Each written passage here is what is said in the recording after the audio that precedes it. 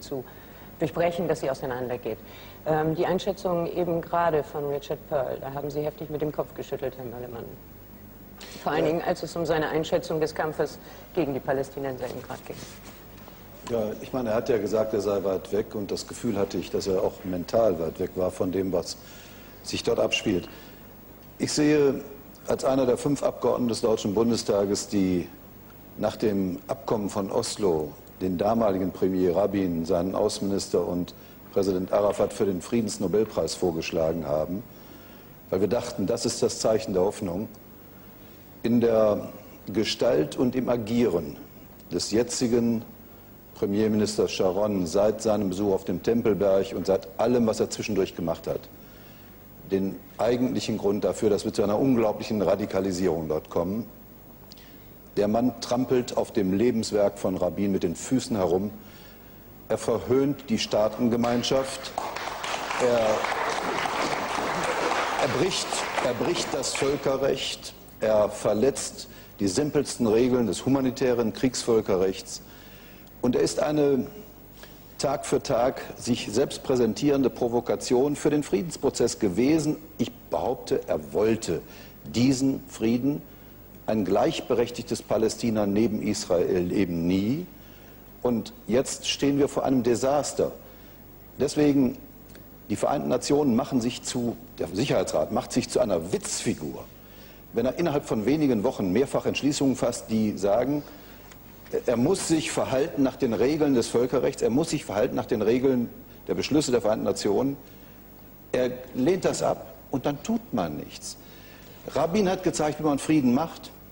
Die drei haben den Friedensnobelpreis zu Recht bekommen. Dass das nur ein Zwischenschritt war, war klar. Gut, Herr Möllemann, aber, aber wenn Sie natürlich sagen, auf der einen Seite die Kritik an, an Sharon üben, auf der anderen Seite aber ein ganz großes, oder nicht auf der anderen, sondern auf derselben Seite ein großes Verständnis für die Palästinenser aufbringen und aufgebracht haben in sehr heftigen Äußerungen, wo Sie sagen, Sie können diejenigen verstehen, die sich versuchen zu erwehren, äh, auch im Land des Aggressors. Ist das die richtige Sprache? Liebe Frau Christiansen, wer anderer Leute Länder besetzt, muss wissen, dass die sich wehren. Es stehen nicht palästinensische Panzer in Tel Aviv und Jerusalem, es stehen israelische in Palästina und Palästina wird seine Zukunft verwehrt. Ich bin strikt gegen alle Attentate auf Zivilisten. Äh, es gibt ein Recht, das sagt, die Zivilbevölkerung muss geschont werden, auch in militärischen Konflikten, aber ich rede nicht über die Ursache hinweg. Und die Ursache ist der Bruch des Gedankens von Oslo durch Sharon von Anfang an. Und man kann darum auch nicht herumreden. Europa hat lange genug zugesehen, hat den Mann machen lassen. Jetzt kann er fast gar nicht mehr zurück. Wir müssen ihn zurückholen. Die Vereinten Nationen müssen ihn zwingen zu den Prinzipien des Völkerrechts zurückzukehren. Sonst gibt es im Nahen Osten ein Desaster und dann hängen wir mit drin. Der deutsche Bundeskanzler fantasiert im Moment über die Entsendung deutscher Truppen dorthin. Ja, da kommen wir gleich noch das ist dazu. Ja furchtbar. Das uns Frage war, aber nehmen wir mal an, Paul, äh, Colin Powell kommt jetzt nach Hause. Es hat nicht geklappt mit dem Vermittlungsversuch. Was droht uns als nächstes? Also ich finde es bemerkenswert, wenn gesagt wird, ähm, Yasser Arafat solle doch bitte das und das und das tun. Was haben ist, wir nicht gesagt. Nein, habe ich nicht gesagt. Wird hier mehr Möllemann, versuchen wir doch jetzt mal die letzten Minuten dafür zu nutzen, zu sagen, was könnte wirklich ja, dann jetzt ja, noch muss, in der Schublade ja sein, die man kann.